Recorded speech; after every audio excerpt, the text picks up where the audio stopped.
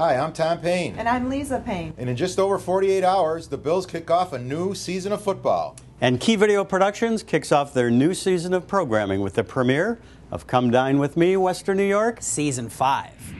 Come Dine With Me, Western New York is hosted by restaurateur Russ Salvatore and co hosted by Jan Farrington. Our mission? To showcase some of the area's best restaurant treasures.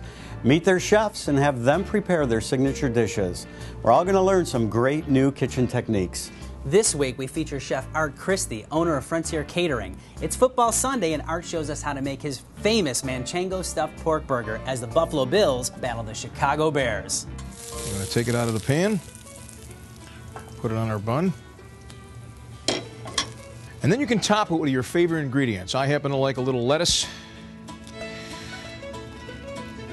a couple slices of tomato, and you can't forget the red onion. Oh, yeah. And that, my friends, is an awesome tailgate burger. And keeping with our football theme, meet number 28, Bills running back CJ Spiller. We'll find out where he likes hanging out on a Friday night. Hi, I'm CJ Spiller, running back for the Buffalo Bills. I've been here in Buffalo for a few years, and I got to tell you, my favorite restaurant to go to, Ilio DiPaolo's. I always start off with the bruschetta. One of our most popular appetizers is our bruschetta, which is a nice sliced Italian bread toasted, topped with diced tomatoes, soaked in our homemade Italian dressing with feta cheese on top. Angus braised short rib shepherd's pie is on the menu board this Sunday, and Tom and Lisa Payne will show you just how easy it is to prepare. Angus short rib, vegetables, mashed potatoes, and gravy sprinkled with cheddar cheese. We call it a modern twist on a classic dish. And you can find it right here on the menu board at the Grapevine on Niagara Falls Boulevard or this Sunday morning. Learn how to make it in your own kitchen.